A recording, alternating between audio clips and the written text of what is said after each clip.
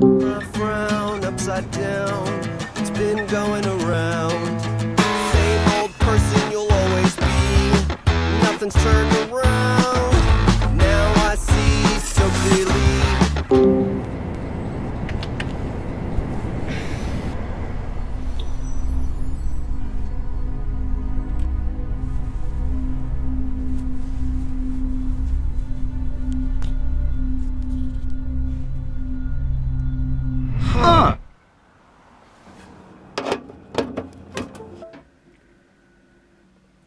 Please watch.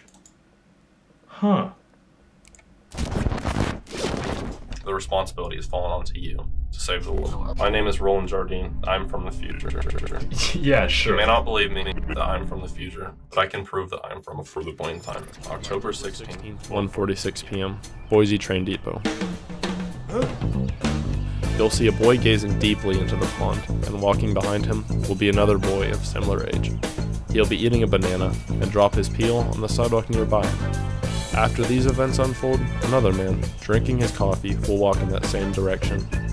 Just after taking a sip of his brew, he will then slip on the banana peel, causing him to throw the boiling liquid into the sulking pond boy. He is from the future. This isn't proof enough. There's simply just no hope left in this world.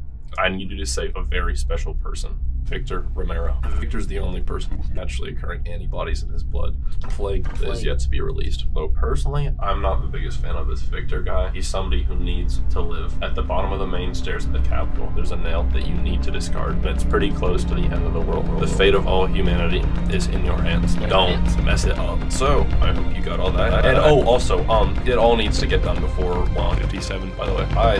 Ciao. I gotta run!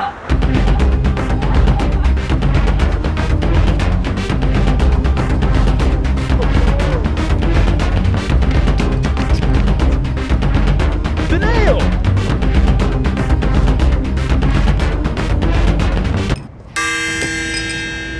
Yeah! Wow. I did it.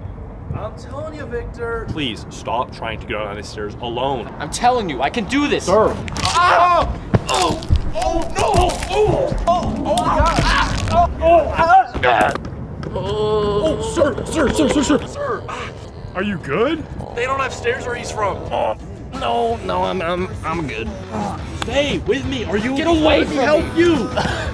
Hey, hey, hey, get back.